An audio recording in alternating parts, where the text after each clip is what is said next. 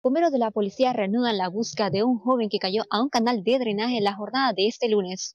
Eh, la edad de la persona que llegó entre los 18 y 20 años, un adolescente de la comunidad de Ayorea que, existe en la Villa Primero de Mayo, son ellos que indican que habían estado jugando o de alguna otra manera habían llegado a caer o empujarlo a la, persona. Entonces lo que ellos indican que no habría llegado a salir. Entonces como desde ayer uh, se, se, ha realizado la búsqueda eh, en el canal y ahora en la, en la laguna. Efectivamente, se está continuando con el trabajo de, la búsqueda y rastreaje de la persona que habría llegado a caer.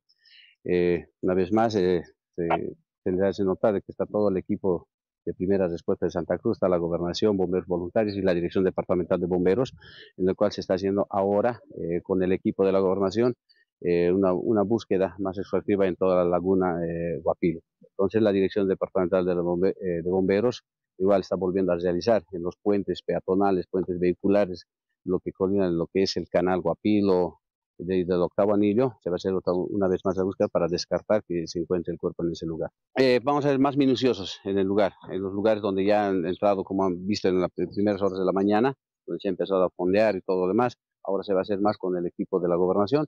Bueno, nosotros estamos trayendo, como ustedes ven, tres lanchas con su motor fuera de borda, equipo de buceo y 12 rescatistas para apoyar en la búsqueda bueno, hasta que el oficial eh, diga ¿no? que, que, sujetamos la búsqueda.